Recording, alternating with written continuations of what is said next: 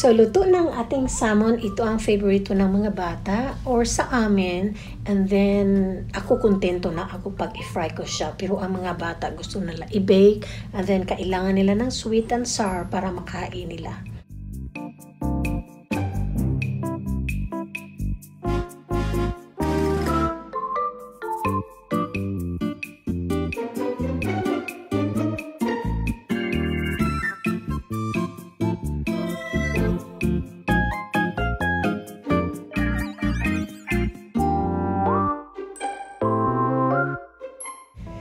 Masarap itong sweet and sour na na-order namin. Akala ko yung Thai sweet and sour pero binigyan kami ng panda. So, mas masarap pa siya. Hindi ako sponsor ni Panda ha. ano ba yan?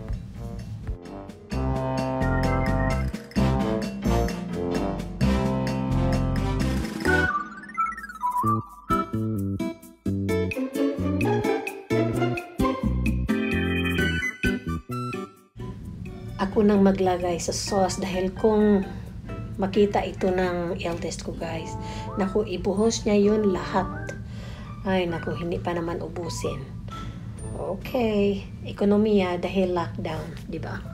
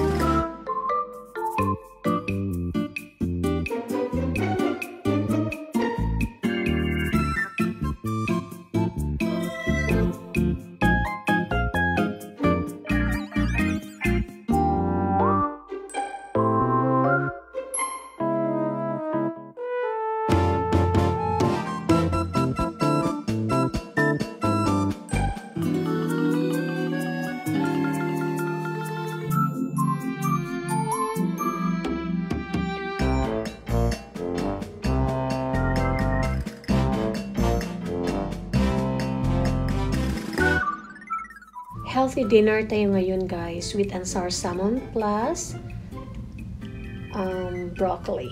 Ayan siya ang ating masarap at healthy na dinner. Halika kayo guys, kain tayo.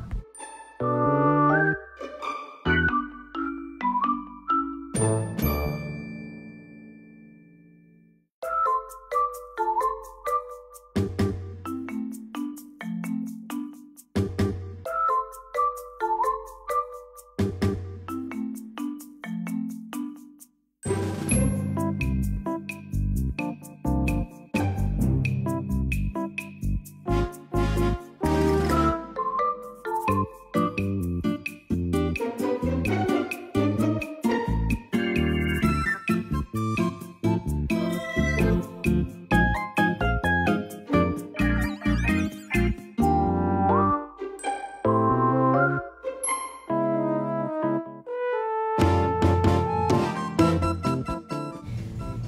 I-fry mo si broccoli pero don't overcook it. Just 2 minutes and then that's it. Do not add salt dahil yung fish natin salty na yun eh. Di ba yung sweet and sour sauce. So, pwede na yan. Especially pag mga asawa natin ay high blood. So, avoid yung maraming salt.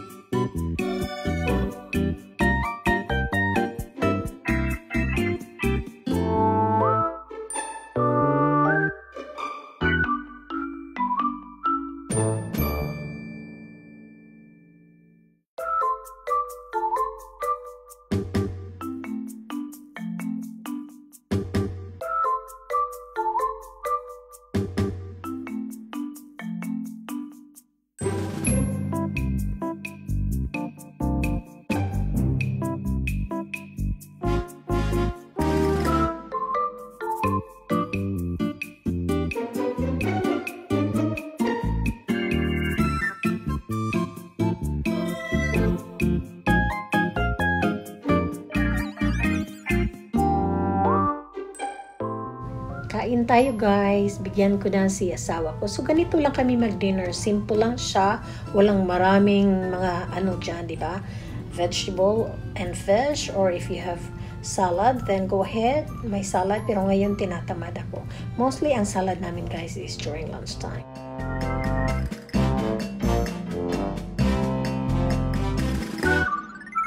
So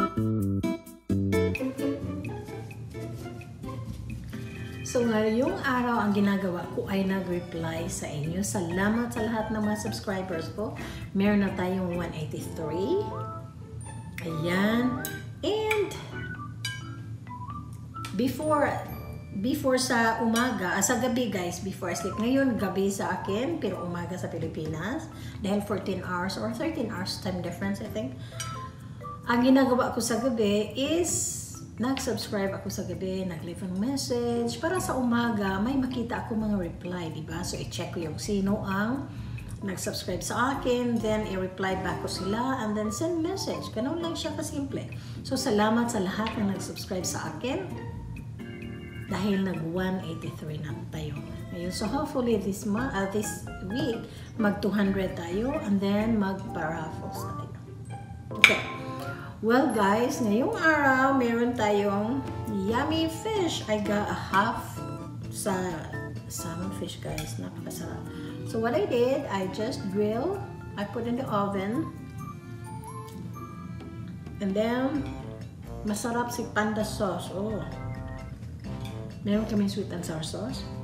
Deep Palace, Santa Barbara. Oh, thank you. So guys, uh-huh. Oh, thank you, Dad. So guys, if you go to Madrid, tips guys, tips. If you go to Madrid, you stay sa hotel nearby sa city and then the, the hotel that we stayed is Petit. Petit what? Petit what that? Petit Palace, Santa Barbara. Mm. So we stay, we stayed at Petit Palace Santa Barbara. So that's the tip. If you go to Madrid, I'm not sponsoring, you know guys. Sabihin ko lang sa inyo na doon kami nakatira.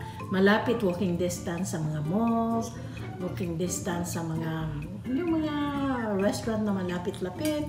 Tapos may 7-Eleven sa labas ng hotel at near siya sa Starbucks at near siya sa Subway. Ayan, train station, malapit siya. So, pag pumupunta kayo, pag pupunta, pag, if you visit Europe guys, be sure magdala lang kayo ng backpack or dahil isa lang ang allowed. Isa, isa allowed isang ano bagahe, then ano lang siya, hand carry lang siya. Yung maliit na shoulder bag, and then isang hand carry na ilagay niyo sa taas. Otherwise, you have to pay 45 pounds. Euro, dahil nasa euro na yun eh. Ayan. Mag,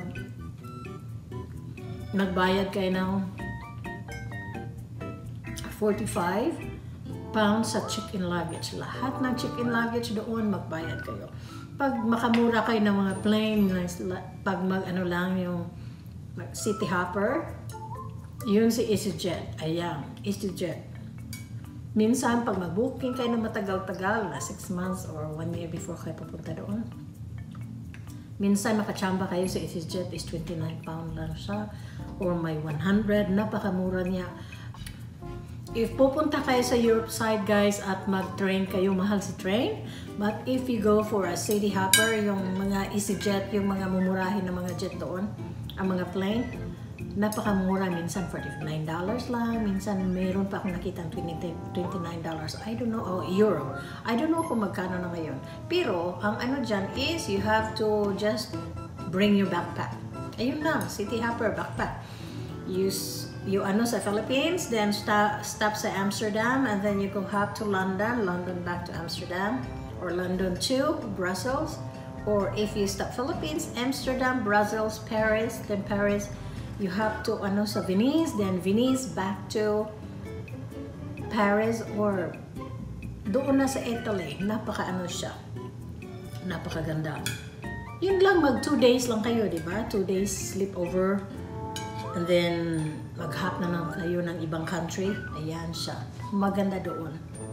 But guys, if you go to Rome, stay where especially if you're Catholic, stay where the Vatican City is. It's like two streets away. I will put that one in my description. Two, two corners away from the Vatican. That's where we stayed. Malapit siya sa sub, subway. Malapit siya sa Filipino store doon. Malapit siya sa mga maraming restaurant. Of course, maraming pumupunta dahil tourist spot yung Vatican. So guys, pag pupunta kayo doon, just check my description below. Sasabihin ko kung saan kami nakatira and sabihin ko sa inyo kung saan ang magandang lugar doon. Dahil maganda sa ano sa Rome, you have to stay near the Vatican City. Para malapit kayo, walking distance, and then pupunta kayo sa mga magagandang tanawin. Ang Rome ang maganda. uh So you just have sa Amsterdam, Amsterdam, Brussels, stop sa Brussels two nights, and then go to Paris, stops two nights, and go to Venice. Then fly to Venice, dahil si Venice ay nasa water siya. Fly to Venice and then back to train to Rome. That's what we did. Ayan siya. Maganda doon. Mga two nights, two nights lang. Two nights and two days. Then, pag mag-backpack ka, after sa, ano, after sa check out, mostly check out doon is before 12 o'clock. So, before, mag-check out kayo na before 12, aalis kayo ng umaga, and then babalik kayo 12, and then i-backpack nyo na lang kung saan-saan, di ba? Pag summer, you just wear shorts. Kami nga doon, napunta kami doon, nag, ano lang, yung winter yun, siya. Isang suot, tapos yung mga undershirt mo, and yung tights, tights lang. Tights, and i-double pa yung tights at yung thick na, na stockings. Ayun lang siya. So, ayan ang tips ko ngayong gabi. And thank you for watching. Continue na si Lola mag-dinner.